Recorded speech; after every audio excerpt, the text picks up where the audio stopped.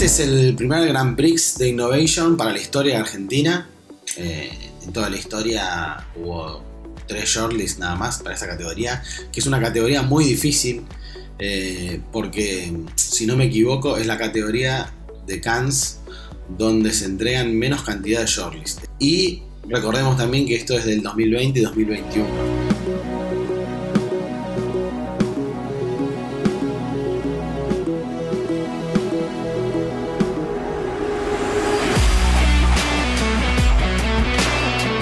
Escuchaba un video de Cannes que hablaba de eso, justo de, la, categoría top de innovación, hablaba del desempeño de Argentina, eh, del hito histórico que significa ser el, primer Grand Prix eh, de Innovation en Cannes Lion de la historia de Argentina. Eh, la verdad que es un orgullo para nosotros, este, no, no dormimos, papá, tampoco.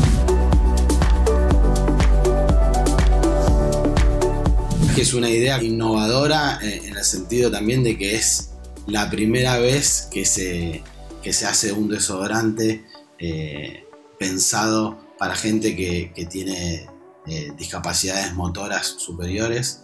Eh, la verdad que es algo que, en el día a día uno no se da cuenta, pero ponerse desodorante es algo que haces todos los días cuando te vas a bañar y lo haces así como a control remoto y no te das cuenta que había gente que, no podía hacerlo, ¿no? Algo tan simple como usar desodorante.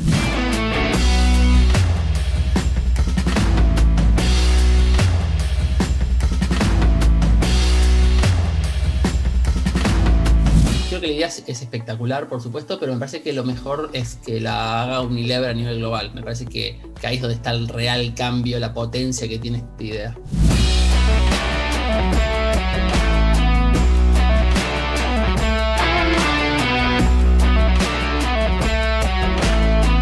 Fue como un laburo muy completo, porque por un lado es, eh, es una idea de negocio, primero, es una idea de negocio que ayuda a crecer a nuestros clientes, es una idea que es creativa, es una idea de, innovación, eh, de tecnología, de product design, ¿no?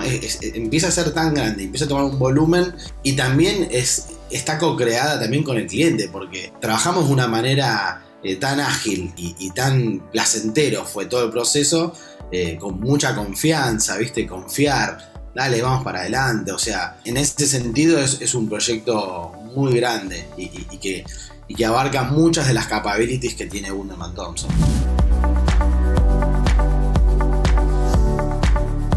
Este premio, este Grand Prix, por supuesto que, construye prestigio ¿no? para la compañía, que trae talento, este, que demuestra que una, lo que hablábamos antes, que una agencia es mucho más que una agencia y puede ser un partner de crecimiento este, de, un producto, crea igualdad e inclusión, en este caso, este, un producto así, para WPP y para Wunderman, ganar en Cannes y ganar un Grand Prix es algo, es algo muy importante.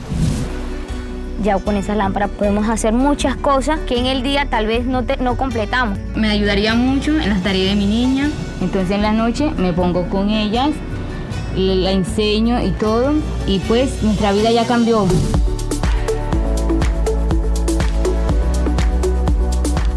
Nosotros en, en Wunderman Latinoamérica fue un año espectacular, un año que nos va a quedar este, para siempre en la memoria porque ganamos no solamente con Argentina, que es lo que veníamos hablando, sino que ganó Leones, Argentina, Chile, Colombia, Brasil y Perú este, cinco oficinas. Todos trabajos espectaculares, un montón de trabajos geniales que, tampoco eh, fueron eh, premiados, pero que, fuimos como muy bien armados.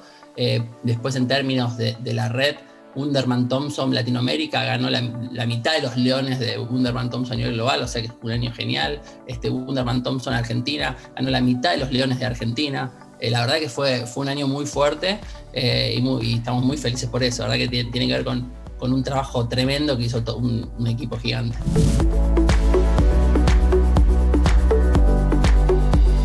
Este año me tocó ser eh, jurado en la categoría de, audio y radio. Un año difícil porque no se entregaron eh, muchos, muchos metales, ¿no? Hubo un shortlist que quedaron nada más 89 piezas de dos años, que si te pones a ver es menos de lo que había para un solo año. Y de esas 89 ganaron 31 metales. Bronces, platas, 6 oros y un Grand Prix que, que para mí fue un, claro Grand Prix, que es eh, de Área 23.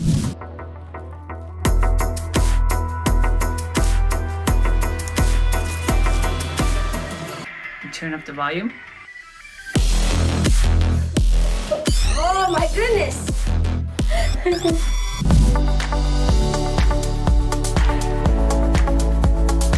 Fue espectacular para nosotros ganar, es soñado, este es un hito histórico, como dijimos.